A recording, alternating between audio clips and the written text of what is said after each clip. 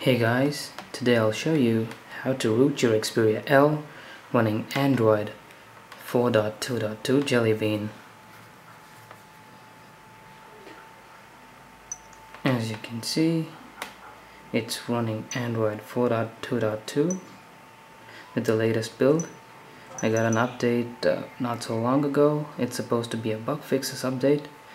It's working great for the time being. I don't know because I found the first firmware really buggy.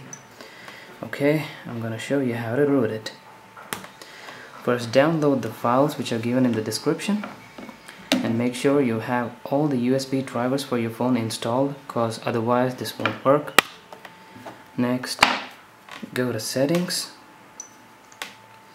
developer options turn on USB debugging make sure it's ticked go to the unzipped folder. Connect your phone.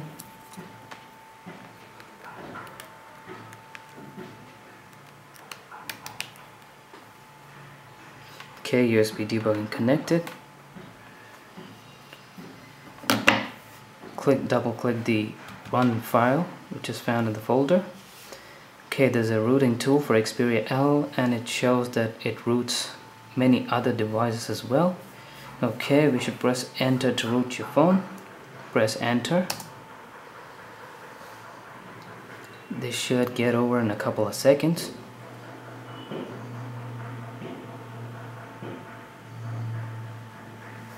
Okay once that's done press any key. It will reboot your phone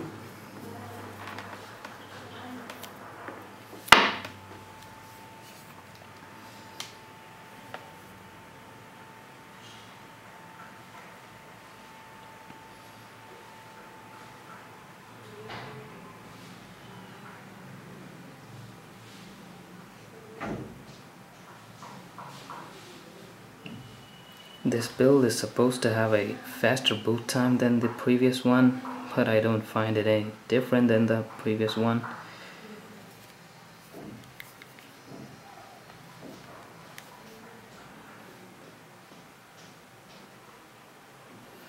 Okay, once your phone is booted, go to your app tray and you should find a Super SU icon in your app tray. This means that the rooting procedure is complete successfully.